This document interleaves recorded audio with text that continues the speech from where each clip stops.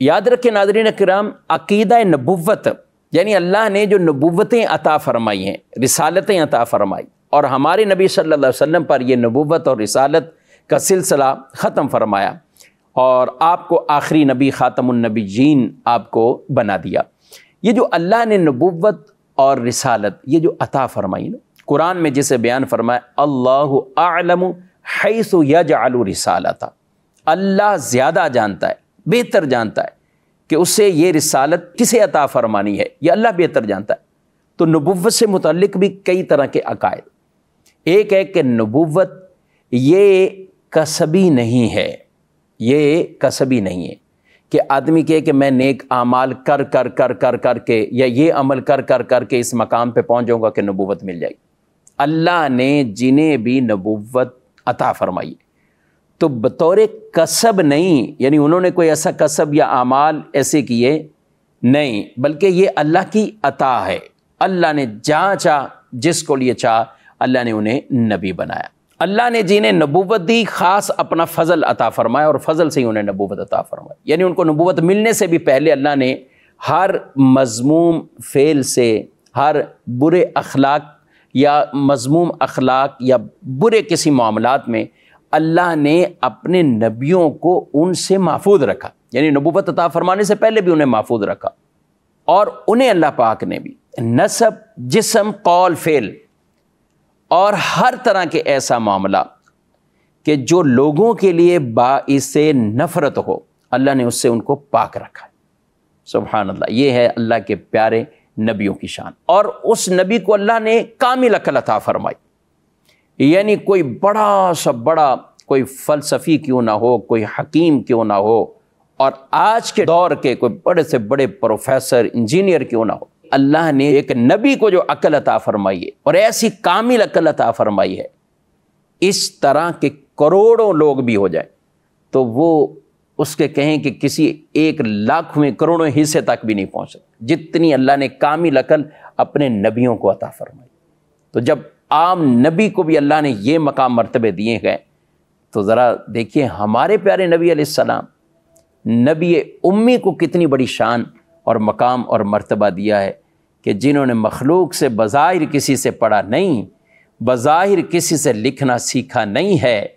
न किताबत है, न किरात है, मगर कमाल की अकल है, कमाल का हाफिज़ा है, कमाल का इल्म है। यह अल्लाह ने अपने महबूब सल्लल्लाहु अलैहि वसल्लम को अता फ़रमाया। और ख़ुद हुजूर सलाम फरमाए कि मुझे मुअल्लिम बना कर भेजा गया है। और कुरान उनके लिए कहे, युअल्लिमुहुमुल किताबा वल हिकमा। ये वो महबूब हैं कि जो इनको किताब का इल्म सिखाते हैं, इनको हमत सिखाते हैं। वयुज़क्की हिम और इनका तजकिया करते इनको सब पाक साफ़ कर देते अरब के बड़े बड़े वो फुसहा और बड़े बड़े अरबी दान, वो भी रसूलुल्लाह सल्लल्लाहु अलैहि वसल्लम के सामने एक क्या तिफल मकतब की तरह, एक आम बच्चों की तरह वो हुजूर अलैहि वसल्लम के सामने दो दोनों बैठे होते थे और आप अलैहि वसल्लम उनकी तालीम और तरबियत फरमाया करते थे। ये शान है नबी उम्मी अलैहि वसल्लम। नबी के बारे में दूसरा अकीदा, नबी से नबुवत का जवाल ये नहीं होता।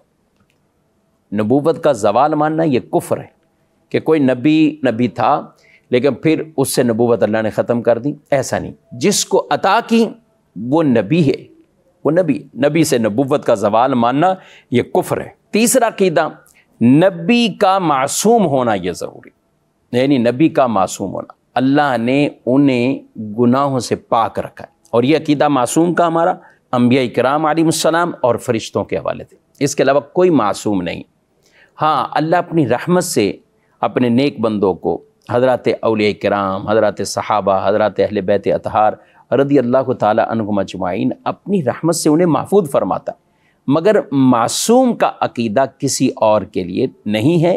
मासूम अम्बिया हैं और मासूम फरिश्ते हैं। इनके अलावा मासूम कोई नहीं के। तो ये खासा है नबियों का और ये फरिश्तों का। और अल्लाह पाक ने अपने नबियों को शिरक से, कुफर से और दीगर गुनाहों से और हर ऐसे काम से जो काबिल नफ़रत समझे जाते अल्लाह ने उनसे अपने नबियों को पाक साफ़ रखा है। यानी नबुवत से पहले भी उनकी जो ज़िंदगियाँ हैं, वो ऐसी गुजरी हैं। नबूवत से पहले भी। अल्लाह ने उन्हें, इनसे वो पाक साफ़ रखा है। तो नाजरीन कराम, नबूवत के भी चंद अकायद हैं। जैसे ये चंद चीज़ें मैंने बयान की तो ये नबियों के बारे में, ये सारे नबियों के बारे में ये अकायद हैं। और हमारे प्यारे नबी सल्लल्लाहु अलैहि वसल्लम, जिनकी शान सबसे अफजल है, सबसे आला है तो अल्लाह ने जब नबियों को इतने कमालत अता फ़रमाए तो इमामुल अम्बिया को कितने कमालत अता फ़रमाए। उनको कैसी अकल मुबारक अता फ़रमाई, उनको कैसी फ़हम और फरासत अता फ़रमाई, उनको कैसा इल्म गैब अता फ़रमाया। तो इसलिए वो मुअल्लिम कायनात हैं, वो दुनिया में मुअल्लिम बनकर, सिखाने वाले बनकर आए हैं। उनको कहाँ से इल्म मिला? उन्होंने किसी से कोई नहीं सीखा। उन्होंने किसी से कोई नहीं पढ़ा। उनको, उनके रब ने ये इल्म अता फरमाया है।